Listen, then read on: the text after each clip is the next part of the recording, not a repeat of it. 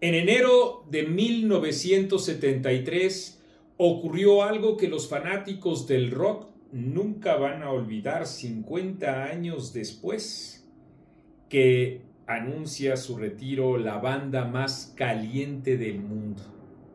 Así como se oye, la aventura inició en el Madison Square Garden y ahí terminó también hace unos días de diciembre de 2023, cuando Kiss anuncia que ha concluido al menos una etapa así de longeva de lo que ha sido su producción musical. Y digo al menos porque ya en estos momentos se están dando las especulaciones relacionadas con la forma que tendrá ahora esta banda para ser inmortal.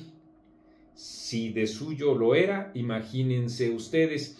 Están pensando, dicen ya ahora los distintos eh, rumores, en los mismos productores de grandes películas como Avatar, para darles a ustedes una idea de lo que pudiera resultar la reproducción de Kiss en sus distintos más o alrededor de 20 álbumes de estudio. ¿Se acuerdan ustedes lo que hizo el grupo ABBA? Bueno, algo similar eh, que permita seguir encarnando, vaya el término, en materia digital de lo que seguirá siendo Kiss. Hay quienes también piensan en algo así como una selección de los cuatro nuevos integrantes que le darían sentido a esta banda que entonces su icono, la K, la I y las doble S se mantendría, pero con cuatro integrantes distintos. ¿Quién sabe lo que vaya a ocurrir? Lo cierto es que ni Jane Simmons ni Paul Stanley se detienen cada que están pensando en algo para proyectarlo y hacerlo realidad. Ya veremos qué es lo que se anuncia en los siguientes días o comenzando el año. Lo cierto es que hay que constatar la existencia de una banda que ha significado mucho para los amantes del rock, no tanto, disculpen ustedes, el frío, ¿verdad? Eh, no tanto para los virtuosos de la música como para los eh, nostálgicos de un ritmo que va entre el heavy metal, el grunge, algo de punk, imagínense todo lo que han intentado, hasta el pop, que tanto les funcionó en sus éxitos comerciales de finales de los 70s y principios de los 80s.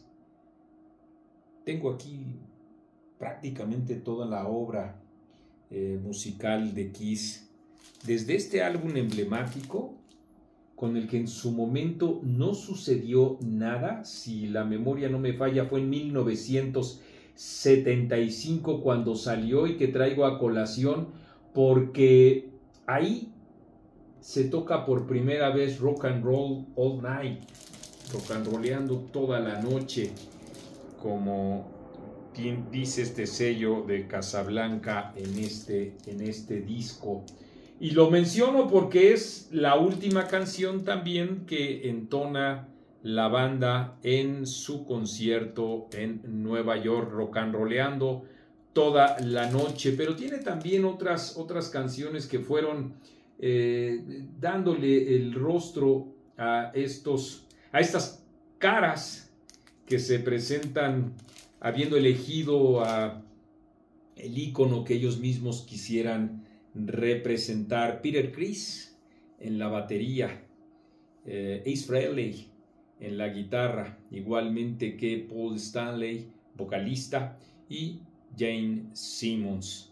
Este sí creo que es uno de los principales eh, discos eh, de ellos que, como les decía en su momento, no significó la gran cosa.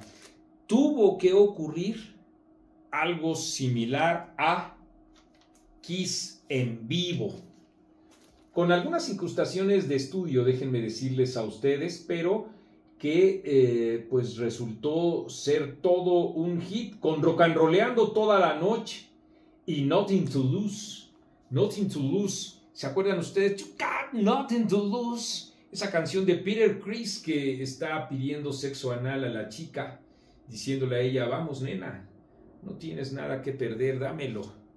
Eh, y que, bueno, pues para muchos representaba eso un enorme eh, acto de iconoclastía eh, por ser ese una invitación a trocanrolear y a pedirle el fruto amargo si hay que dar el beso negro o el fruto jugoso si hay que recibirlo también.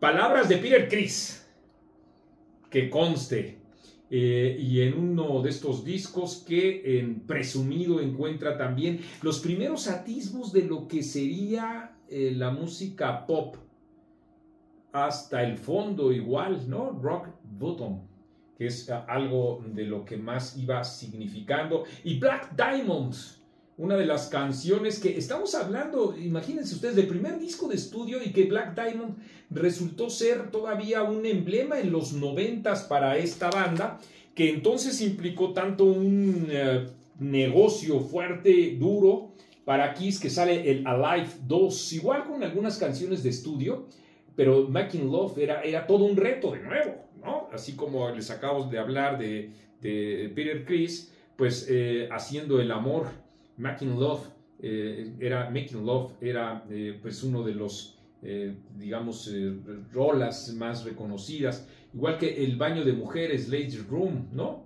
Y el gran éxito para ellos, que es Detroit, ciudad del rock, junto con I Stole Your Love, robé tu amor. Me parece que son las dos, las dos canciones que más le dan a Kiss y que incluso ya en ese disco en vivo, claro, teníamos a Detroit Rock City, este que tiene, pues me parece la única canción que puede ser importante en, el, en este disco junto con Beth.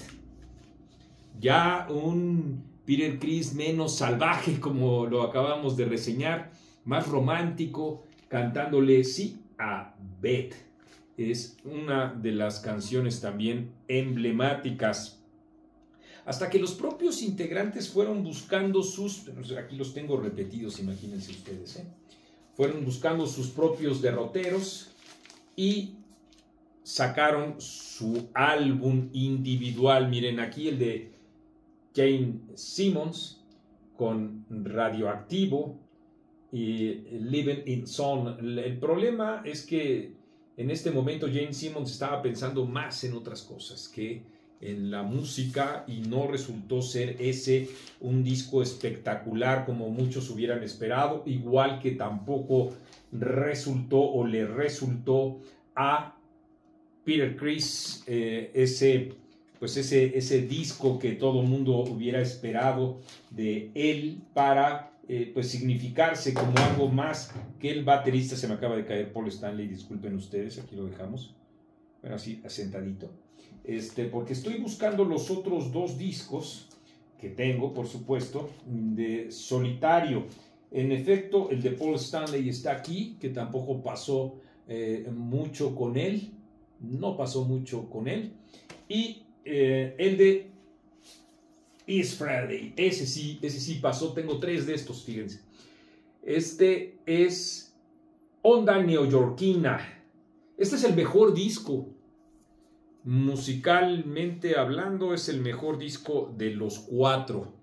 Me parece que eh, ahí es donde mostró sus enormes cualidades, las que tenía el eh, propio Israel antes de que se separara de la banda, lo cual implicaba ya cierta separación de la misma. Aquí, bueno, pues está la repetición de varias, de varias eh, canciones que eran ya un emblema como la que les decía a ustedes de, de, Nothing to Lose eh, y con eh, distintas otras arreglos igualmente. Este es un disco que hay que escuchar, se lo recomiendo mucho, hasta que vamos llegando, por supuesto, ese es el de Drifted to Kill que ya les había comentado.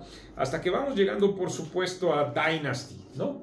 En donde ya es una música más eh, eh, disco incluso, ¿no? Este, Eh, Carisma me parece una de las peores canciones que ha sacado Kiss en, su historia, igual que I Was Met for Loving You, Nací para Marte, y que el propio Jane Simmons dijo, estoy harto de cantar esa canción tan, tan melosa, pero son los tiempos de ya, de fuera máscaras, esa eres tú, a mí me gusta, ya en ese estilo em, pop, igual que Sandy, eh, que eh, pues le gustó a muchos de los amantes de la música disco. Me estoy yendo fuera de la cronología, como ustedes se dan cuenta, porque antes también estaba Criaturas en la Noche, que, eh, salvo Killer, me parece, y, claro, este, I Still Love You, es una de, son dos de las rolas que más valen la pena, porque no resultaron ser, desde mi punto de vista, no resultaron ser lo que hubiéramos nosotros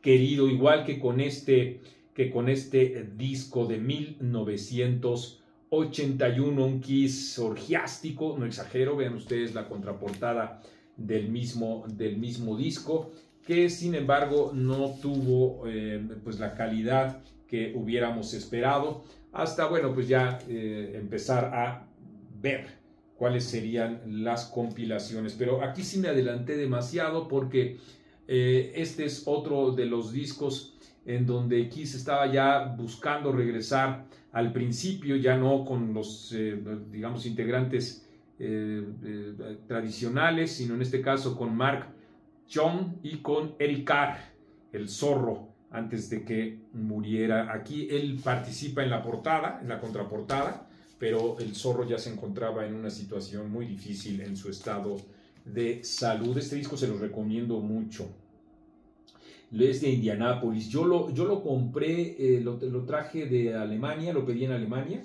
y salió muy barato, fíjense ustedes, salió muy barato, salió en 350 pesos. Eh, y hasta igualmente este que compré en Alemania con Psycho, eh, perdón, Circus y algunas otros, un solo de guitarra impresionante que tiene aquí la, la, banda, que es también de, de Ace Frehley y que, eh, bueno, no estaba Tommy todavía, no, estaba Tommy en esta, en esta grabación, pero ya esta es una de las participaciones intermitentes que tiene eh, el propio Israeli. Y el disco más malogrado y más injustamente malogrado de Kiss. 400 pesos me costó, aquí estoy viendo, de Elder. Rock progresivo. A mí me parece que es el mejor disco de Kiss. El mejor pero es rock progresivo. No es ah, un disco para los amantes de Dress to Kill, Rock and Roll All Night. Eh, no es un disco para los amantes de Beth, de este, Nada que Perder. Eh, no, no es un disco para ellos. este es un disco para los amantes del sintetizador, eh, de la música electrónica, y, bueno, pues fue un disco olvidable, uno de los grandes intentos o esfuerzos de Kiss que sin embargo no fue bien recompensado. Y por último hay que decir también que una de las características que tiene esta banda es su gran capacidad de comercialización. Miren ustedes aquí hasta los funcos, ¿no? Este, este hombre, eh, digamos, con algunas expresiones eh, femeninas que son muy notorias y que al mismo tiempo es el hombre del pelo en pecho, ¿no? Este, y, que, y que, bueno, pues se ha traducido en toda la cantidad de productos que ustedes se quieran o puedan imaginarse. Yo tengo este aquí que no lo he quitado, miren. El, demonio, el chico estrella, el astronauta o el hombre de la estrella y de, eh, quiero decir, del espacio y de Catman el gato, que también aquí tengo, igual que con esta, con esta edición, esta edición que es artesanal, ¿saben? Esta edición artesanal me costó 350 pesos, la versión original, y no es que yo edulcore las palabras, ¿eh? Esta es una, una, versión artesanal, no, no digo pirata porque no es pirata, es una persona que pintó, aquí estoy tocando cómo lo pintó a mano, cómo lo estructuró a mano este, esta botella y colocó a Coca-Cola y al demonio, aquí, aquí ustedes lo pueden ver. Este, y, que, y que la original cuesta mucho dinero, muchísimo dinero. ya cuesta 3 mil, 4 mil, 5 mil pesos, imagínense ustedes, mucho, mucho dinero. Bueno, el caso es que este es un pequeño homenaje, un testimonio que tiene que ver también con mi propia infancia y el gusto culposo muchas veces respecto de lo que significa esta banda. No puse todos los discos, creo que tengo todos los discos este, para compartirlos con ustedes, pero créanme eso sí, que pues he escuchado prácticamente todo lo que ellos mismos han hecho y, los homenajes que se han dado hacia ellos. Gusto, culposo, como he dicho, eh, y también una expresión de gratitud. 1973, imagínense ustedes, tenía siete años, cuando ya me sentía yo muy pesado, cantando con Peter Chris, Anda nena, dame ese sabor amargo, no tienes nada que perder.